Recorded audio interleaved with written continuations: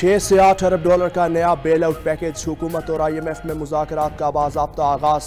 वजारत ख़जाना में I am F वफद की पाकिस्तानी हुकाम के साथ पहली बैठक। विफाकी वजर ख़जाना governor state bank chairman F B R शरीक हुए। पॉलिसी सतह की बातचीत। जराए वजारत ख़जाना के मुताबिक पाकिस्तान ने पैकेज की शराइ पूरी करने का ड्राफ्ट पेश कर दिया। आइंदा बजट का हजम सत्रह हज़ार अरब रुपए तक जा सकता है। आइंदा बजट अखराज के लिए स्टेट बैंक से कर्ज नहीं लिया जाएगा। तोानाई पर सब्सिडी का हजम आठ सौ अरब रुपए से नहीं बढ़ेगा। एफ़ बी आर टैक्स का हजम ग्यारह हज़ार अरब रुपए तक जा सकता है। सेल्स टैक्स की मद में चार हज़ार अरब रुपए तक वसूलियाँ हो सकती हैं। बैरूनी अदायगियाँ बर वक्त करने के लिए इकदाम होंगे। बैरूनी कर्जे का हसूल आलमी मार्केट में बॉन्ड्स फ्लोट करके लिए जाएँगे। एफ़ बी आर बिज़नेस और इंडस्ट्री के लिए फंड्स रोक कर महसूल में इजाफा नहीं दिखाएगा।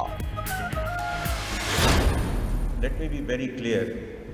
हमने टैक्स नेट बढ़ाना है because not because of IMF जो ऑलरेडी नेट में हैं, उन पे हम फर्दर बोझ एक लेवल तक जा, लेके जा सकते हैं। ये पाकिस्तान की ज़रूरत है। डार साहब ने जो मीटिंग चेयर की on the cabinet committee on privatisation we are absolutely on the same wavelength कि there is no such thing as strategic S O मुल्क में मुआशी इस्तेकाम चाहते हैं तो निचकारी की तरफ़ जाना होगा। विफाकी वज़ीर खजाना मोहम्मद औरंगज़ेब का कहना है, इदारों की निचकारी पर इसहाकदार से इख्तलाफ नहीं। निचकारी पर हमारी सोच यकसा है। टैक्स नेट आईएमएफ की नहीं, पाकिस्तान की ज़रूरत है। इससे पीछे नहीं हटेंगे। तमाम सूबों के साथ मुशावरत के साथ चलेंगे। जो ताजिर टैक्स नेट के बाहर हैं, वो खुद टैक्स नेट पर आए। हर तरह की सहूलत देंगे। बिजली की चोरी को मुकम्मल तौर पर खत्म करना है।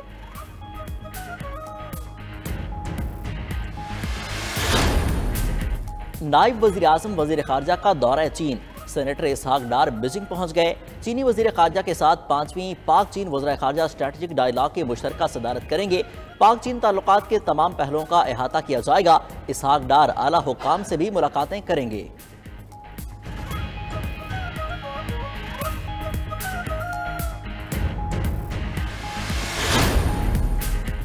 पेट्रोलियम मसनूआत पर आवाम को रिलीफ मिलने का इम्कान। पेट्रोल बारह रुपये फ़ी लीटर सस्ता होने की तो डीजल की कीमत में नौ रुपये सत्तर पैसे फ़ी लीटर कमी की तजवीज़। ओगरा कल तक समरी वजारत ख़जाना को अरसाल करेगा। वजारत ख़जाना वजर अजम की मुशावरत के बाद हतमी फैसला करेगी।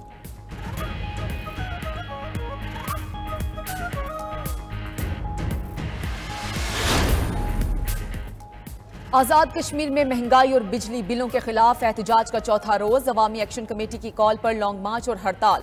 दुकानें, कारोबारी मराकज और मेडिकल स्टोर्स बंद। मुख्तलिफ़ इलाकों में इंटरनेट और फ़ोन की सर्विस भी मअतल लॉन्ग मार्च, मुजफ्फराबाद की जानब रवा दवा। अवामी नकलो हरकत को रोकने के लिए जगह जगह सड़कों पर रुकावटें।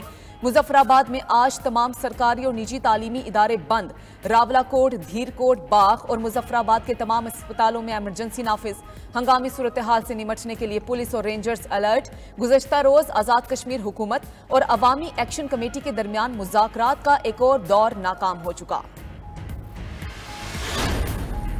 वज़ीर अजम शहबाज शरीफ ने आज़ाद कश्मीर की सूरत हाल पर आज हंगामी इजलास बुला लिया। वजी अजम हाउस में होने वाले इजलास में तमाम स्टेक होल्डर्स तलब। मामले पर तजावीज़ ली जाएँगी।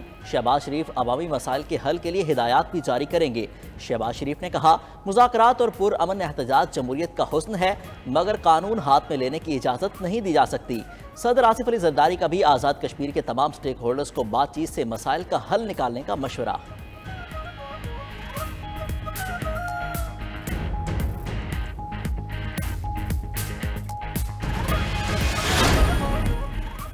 एक सौ नब्बे मिलियन पाउंड रेफरेंस केस की समात आज होगी। एहतसाब अदालत के जज नासिर जावेद अडियाला जेल में समात करेंगे।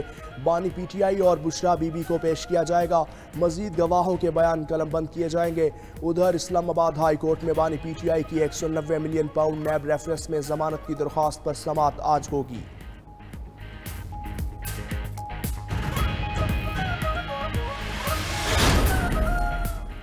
पहले मुजाकर का माहौल बनाएँ, फिर बातचीत होगी। फवाद चौधरी कहते हैं कि मुल्क में आइन और इंसानी हकूक बहाल होना ज़रूरी है। बानी पीटीआई के मुकदमात का ओपन ट्रायल होना चाहिए।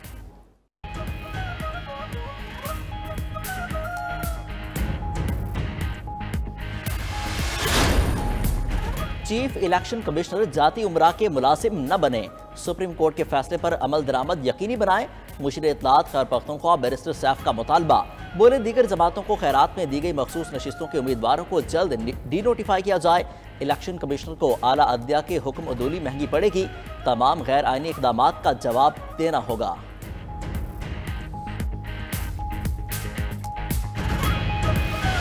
किसान को नई गंदम फरोख्त करने की फ़िक्र, पास्को की पहले से बड़ी गंदम भी खराब होने लगी। हाफिजाबाद गोदाम में 2022 में खरीदे गए गंदम के एक लाख आठ हज़ार थैले मौजूद। फुटेज सोशल मीडिया पर वायरल। हुकूमत ने पहला स्टॉक ख़त्म करने के बजाय 2023 और 24 में मजीद गंदम मंगवाई। उधर गंदम स्कैंडल की तहकीकात नैब से करवाने की दरख्वास्त लाहौर हाई कोर्ट ने पंजाब हुकूमत को जवाब के लिए मोहलत दे दी।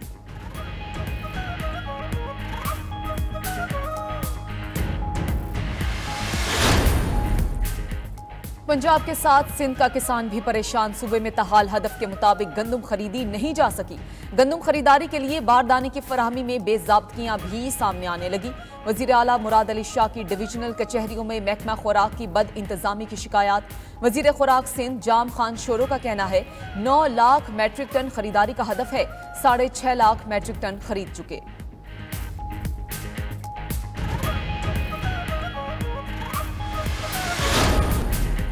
कराची में मैट्रिक के इम्तहान में नकल माफिया का राज। बोर्ड इंतजामिया बेबस आज भी पेपर आउट। दसवीं जमात का रियाजी का पर्चा शुरू होने से कबल ही सोशल मीडिया की जीनत बन गया। व्हाट्सएप ग्रुपों में नकल माफिया ने हल शुदा पर्चा भी जारी कर दिया।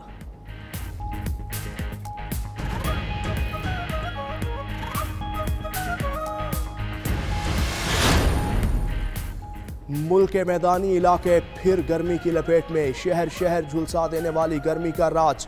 तुरबत और दादू में पारा 45 डिग्री को छू गया। सिब्बी, जैकबाबाद खैरपुर और नसबेला में भी सूरज सवा नेजे पर। कराची में आज पारा सैंतीस डिग्री तक पहुँचने का इम्कान। उधर हालिया सैलाब से मुतासरा कुमराट रोड ब्रेगोट के मकाम पर सर कर गया। सड़क पर हर किस्म की ट्रैफ़िक बंद। सयाह और मकामी अफराद फंस गए। बहाली का काम जारी।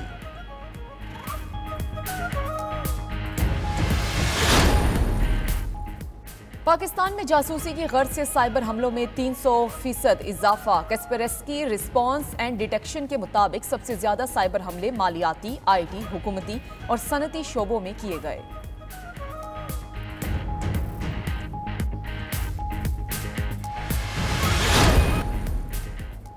मौसमियाती तब्दीली के असरात पर दरियाओं में पानी का बहाव तेज, पानी की तकसीम कैसे की जाए, इरसा का हंगामी इजलास आज होगा। वारदा को तरबेला डैम में मजीद पानी जखीरा करने से रोक दिया गया। तरबेला डैम में 1470 फीट से ऊपर पानी ना भरा जाए, इरसा की वारदा को दरखास्त।